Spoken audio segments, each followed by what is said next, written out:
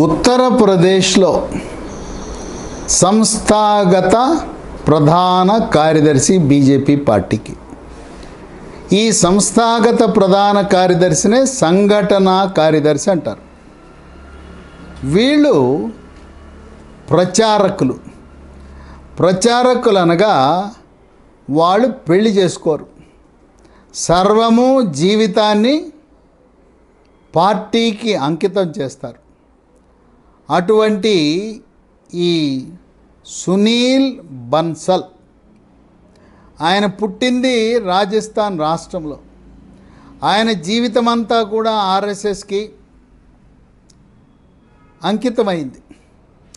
RSS party నుంచి రాజకీయ ఆసక్తి గలవారిని అనుభవం ఉన్నవారిని కొంతమందిని ఎంపిక చేసి ప్రతి రాష్ట్రానికి ఒక ఆర్ఎస్ఎస్ వ్యక్తిని సంఘటన కార్యదర్శి వ్యవస్థాగత ప్రధాన కార్యదర్శి అని ఒక పదవి ఉంది. అది కేవలం ప్రచారకులకు మాత్రమే. వివాహము చేసుకోకుండా పూర్తి సమయము ఆర్ఎస్ఎస్కి పార్టీకి కేటాయించిన వారికి మాత్రమే ఇస్తారు. ఇది గవర్నమెంట్ ఉద్యోగం ఎలా ఉంటుందో బదిలీలు అలా ఉంటాయి. మనకు క్రైస్తవ మతంలో రోమన్ క్యాథలిక్లో బ్రదర్లు ఫాదర్లు బిషప్పులను ఏ విధంగా బదిలీ చేస్తారో ఆర్ఎస్ఎస్ హెడ్ క్వార్టర్స్ నాగపూర్ నుంచి ఆదేశాలు వస్తాయి మార్చివేస్తారు. అంటే ప్రతి రాష్ట్రములో కూడా ఆర్ఎస్ఎస్ నుంచి వచ్చిన వీళ్ళు కూడా ప్రభుత్వ భాషలో చెప్పాలంటే డెప్యుటేషన్. ఎంతకాలం ఆ పదవిలో కొనసాగుతారనేది కూడా నిర్దిష్ట కాల వ్యవధి ఉండదు. ఎంత సమయం ఉండాలంటే అంత సమయమే అధిష్టానం యొక్క నిర్ణయం మేరకు ఉంచుతారు. ఇక్కడ గతంలో ఉన్న సంఘటన కార్యదర్శి మంత్రి శ్రీనివాస్ కూడా ప్రచారకే. ఆయన తెలంగాణ రాష్ట్రానికి చెందినవాడు. ఆయన గవర్నమెంట్ ఉద్యోగస్తులను బదిలీ చేసిన విధంగా ఇక్కడి నుంచి బదిలీ చేసి ఆయన్ని పంజాబ్ రాష్ట్రానికి సంస్థాగత ప్రధాన కార్యదర్శిగా నియమించారు. వీళ్ళకు జాతీయ స్థాయిలో భారతీయ జనతా పార్టీ కేంద్ర కార్యాలయంలో అక్కడ జాతీయ సంస్థాగత ప్రధాన కార్యదర్శి. ఆర్ఎస్ఎస్ నుంచి వచ్చిన వ్యక్తి బిఎల్ సంతోష్ అని ఉన్నారు. ఆ బిఎల్ సంతోష్ ఆర్ఎస్ఎస్ నుంచి వచ్చి ప్రచారక్గా ఉంటూ ఆయన రాష్ట్రాలలో ఉండే సంఘటన కార్యదర్శులతో సమన్వయపరుచుకుంటారు.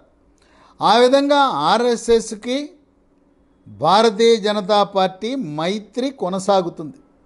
వీళ్ళందరూ కూడా ప్రచారక్ అనగానే స్వార్థాన్ని విడనాడి ఏ విధంగా అయితే ప్రధానమంత్రి మోదీ ఆదిత్యనాథ్ యోగి వీళ్ళిద్దరూ కూడా ప్రచారకులే ఆ ప్రచారకులు స్వార్థం అనేది లేకుండా కేవలం తన అవసరాలకు కావలసిన ఖర్చులు కూడా పార్టీ కానీ ఆర్ఎస్ఎస్ కానీ భరిస్తుంది.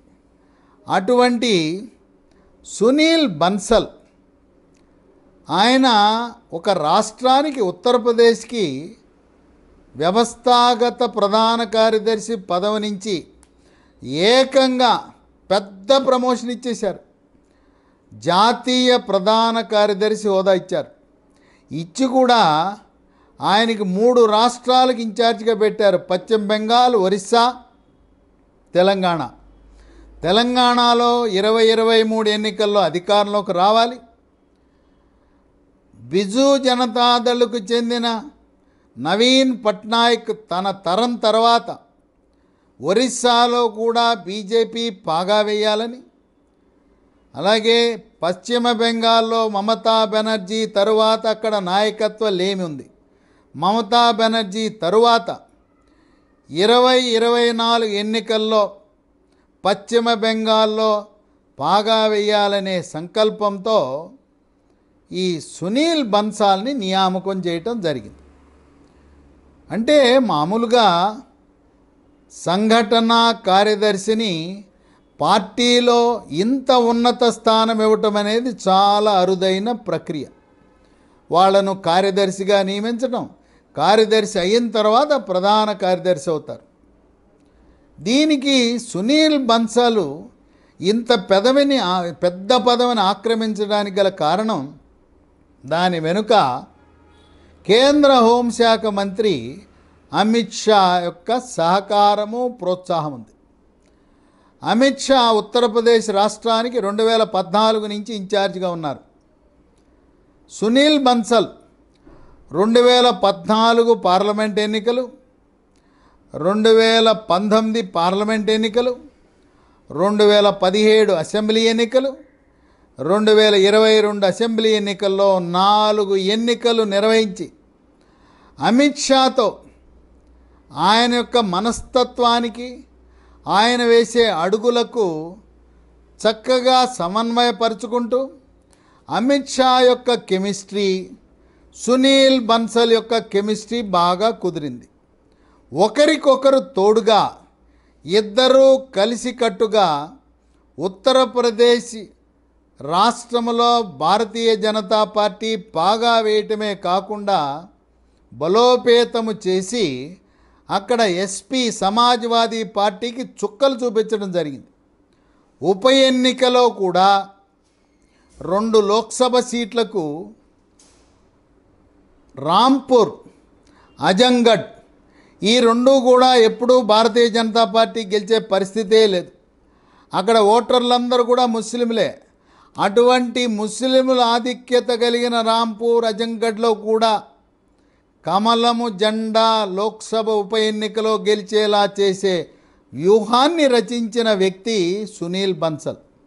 సునీల్ బన్సల్ ఆఫీసులో కూర్చుని ఏదో కాగితాలు పేపర్ పనే కాకుండా క్షేత్రస్థాయికి వెళ్ళి నాయకులతో మాట్లాడి వాళ్ళ అభిప్రాయాలు తెలుసుకుంటూ క్షేత్రస్థాయిలో పార్టీని బలోపేతము చేయటానికి ఉపయోగపడే వ్యక్తి. సునీల్ బన్సల్ ఎప్పుడైతే తెలంగాణకు వస్తున్నాడో కాంగ్రెస్ పార్టీ అలాగే టీఆర్ఎస్ పార్టీకి వణుకు మొదలైంది. టీఆర్ఎస్ పార్టీ వ్యూహకర్తగా ఉండే ప్రశాంత్ కిషోర్ కానీ తెలంగాణ రాష్ట్రములో కాంగ్రెస్ పార్టీ వ్యూహకర్త సునీల్ కానీ సునీల్ బన్సల్ యొక్క వ్యూహాలకు గింగిరాలు తిరిగిపోతారు. ఆయనకున్న అనుభవం కానీ మేధో సంపత్తి కానీ కాంగ్రెస్ పార్టీ వ్యూహకర్త సునీల్ అలాగే టీఆర్ఎస్ పార్టీ వ్యూహకర్త పీకే వాళ్ళు ఎట్టి పరిస్థితిలో కూడా సునీల్ బన్సల్కి సమ ఉజ్జీకార్ ఈ ప్రచారకులందరూ కూడా దేశం కోసం ధర్మం కోసం ఏక్ భారత్ శ్రేష్ఠ భారత్ దేశం ముందు మాకు దేశం తర్వాత పార్టీ పార్టీ తర్వాత వ్యక్తి అనే నినాదాన్ని ఆ లక్ష్యంతో జీవితాన్నే త్యాగం చేసిన ప్రచారకులో ఒక విశిష్టమైన వ్యక్తి సునీల్ బన్సల్. సునీల్ బన్సల్ తనకు ఏదైతే పని కేటాయించారో ఏదైతే లక్ష్యాలు అమిత్ షా ఆయనకి బాధ్యతలు అప్పగించడంలో వాటన్నిటిలో కూడా నూటికి నూరు శాతము సఫలీకృతమైన వ్యక్తి. పైగా సునీల్ బన్సల్కి కేంద్ర హోంమంత్రి అమిత్ షాకి ఉన్న బంధము అనుబంధము వాత్సల్యము ఎలా ఉంటుందంటే సునీల్ బన్సల్ కేంద్ర హోంశాఖ మంత్రి సెల్ ఫోన్కి ఒక మిస్డ్ కాల్ ఇస్తే ఆయనంతట ఆయనే కేంద్ర హోంశాఖ మంత్రి అమిత్ షా బొలియే బన్సల్ క్యా అని ఆయనంతరగా ఆయనే.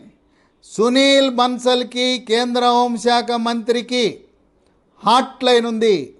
కనుక ఒక్క నిమిషములో తెలంగాణ రాష్ట్రములో జరుగుతున్న అన్ని విషయాలను కూలంకషంగా ఫోనులో ఫోనులోనే వివరించగలిగిన శక్తి సాన్నిహిత్యమున్న వ్యక్తి.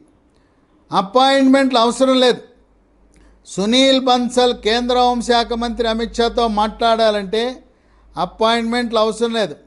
ఫోన్ మాట్లాడాలన్నా ఢిల్లీలో కానీ ఎక్కడైనా కూడా ఆయనతో కలిసి మాట్లాడాలంటే ఆయన్ని పక్కకు పిలిచి అమిత్ షాని ఒంటరిగా ఆయన చెవిలో కొన్ని విషయాలు చెప్పగలిగిన చనువుంది సునీల్ బన్సల్ తెలంగాణ రాష్ట్రానికి ఇన్ఛార్జిగా నియమించిన తరువాత ఇప్పటికే జాతీయ ప్రధాన కార్యదర్శి పంజాబ్ నుంచి ఉన్న చ తరుణ్ చుగుని ఆయనను కూడా కొనసాగిస్తారా? లేదు కేవలం సునీల్ బన్సల్ను మాత్రమే ఉంచుతారా అనేది ఇంకా నిర్ణయం జరగలేదు. ఇప్పటి వరకు తెలంగాణ ఇన్ఛార్జ్ బాధ్యతలను తరుణ్ చుగ్గు నిర్వహించాడు. ఆయన కూడా చాలా మండివాడు. చాలా కాలం తెలంగాణ రాష్ట్రానికి వచ్చినప్పుడు ఇక్కడ హోటల్లో ఉండడు గెస్ట్ హౌస్లో ఉండడు. ఆయన నాంపల్లిలో ఉండే పార్టీ కార్యాలయంలోనే ఆయన నివసిస్తూ ప్రతి ఒక్కరికి అందుబాటులో ఉండే వ్యక్తి తరుణ్ ఇక తెలంగాణ రాష్ట్రానికి సంఘటన కార్యదర్శి సంస్థాగత ప్రధాన కార్యదర్శి నియామకం జరగవలసి ఉన్నది. మొట్టమొదట ఊహించింది ఏంటంటే మంత్రి శ్రీనివాసు స్థానములో సునీల్ బన్సల్ని సంఘటన సంస్థాగత ప్రధాన కార్యదర్శిగా నియామకము చేస్తారని ఊహించినా ఎవరు ఊహించని రీతిలో సునీల్ బన్సల్కి అందలం ఎక్కించి గురుతర బాధ్యతలైన మూడు పెద్ద రాష్ట్రాలకు ఇన్ఛార్జిగా నియమించిన ఆయన ఓర్పుతో సహనంతో నేర్పుగా ఎవరిని నొప్పించకుండా తన లక్ష్యాన్ని నెరవేర్చుకోగలిగిన శక్తివంతుడు సునీల్ బన్సల్. ఆయన రాకతో ప్రతి కాంగ్రెస్ పార్టీ టీఆర్ఎస్ పార్టీలలో ప్రకంపనాలు మొదలైనవి అన్నా సునీల్ బన్సల్ వస్తున్నా అంట. మన కొంప ముంచడానికి టీఆర్ఎస్ పార్టీని ఓడించడానికే వస్తున్నాడంటని అగ్రశ్రేణి టీఆర్ఎస్ నాయకులు మంత్రులు వాళ్ళందరూ కూడా చర్చించుకోవటం అనేది ఒక విశేషముగా విశ్లేషకులు భావిస్తున్నారు. వేచి చూద్దాం. సునీల్ బన్సల్ యొక్క బ్రాండు ఆయన యొక్క వ్యవహార శైలి పనితీరు ఏ విధంగా తెలంగాణలో భారతీయ జనతా పార్టీని అధికారంలోకి తీసుకువచ్చే ప్రణాళిక రచిస్తాడని ఆసక్తిగా అందరూ ఎదురు చూస్తున్నారు.